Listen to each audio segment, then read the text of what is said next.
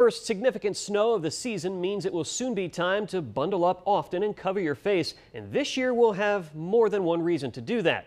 And as Madison Tromler found out, it's important to understand using a face covering to protect against COVID is not the same as protecting yourself from the cold. She joins us now live to explain. Chris, Mercy Health tells me the COVID 19 face masks and the face masks that keep us warm cannot be used interchangeably, uh, interchangeably, excuse me, and it's really important this winter to remember that there's new steps you're going to have to take to keep you not only warm but healthy.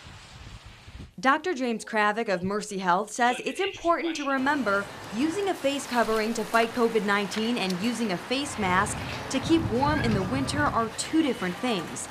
He says COVID 19 face masks need to stay dry to protect you and others. I think if, if someone's wearing their face mask and it gets it gets wet, either from from themselves or from the moisture in the environment or the weather, and just really need to change out those masks. You know, wash them if they're washable or if they're disposable. Change them more frequently. I think that's probably what we need to think about now that it's colder.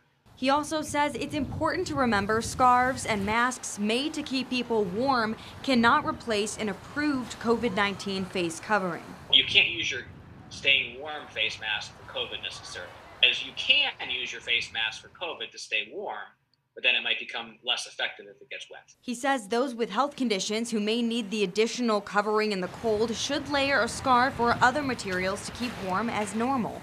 With winter coming, Kravec says mask hygiene is even more important than ever before, especially with a spike in coronavirus cases. With more local news, I'm Madison Tromler.